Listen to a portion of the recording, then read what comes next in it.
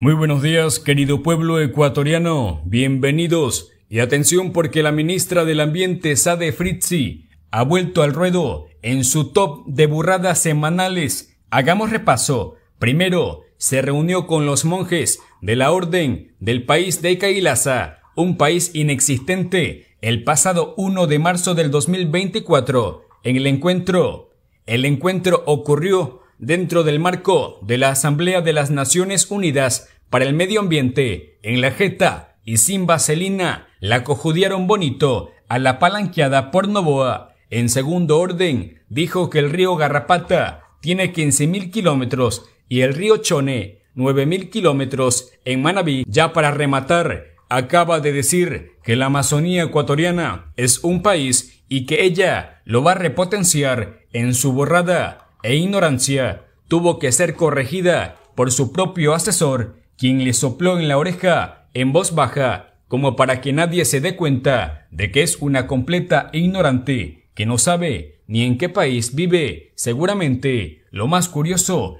es que al parecer le cuesta mucho trabajo mental saber que la Amazonía es parte del territorio ecuatoriano. Un error lo comete cualquiera, pero hay errores ridículos que caen en la viciosidad tanto le costaba escribir en Internet si la Amazonía forma parte del Ecuador o no. ¿Será que en su vida ha utilizado el Internet para algo más que tomarse una selfie y subirla a redes sociales? Nada sorprendente de los ministros de Novoa. Ya son gajes del oficio de los ilustres, buenos para nada. La Amazonía sea un país, la Amazonía sea un país. ¡Diablos, señorita!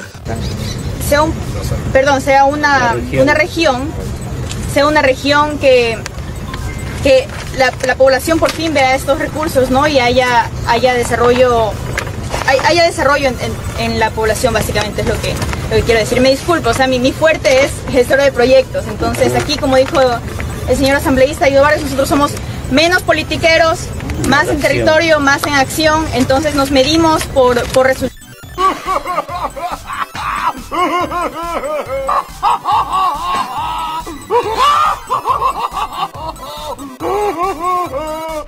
¡Qué cómico!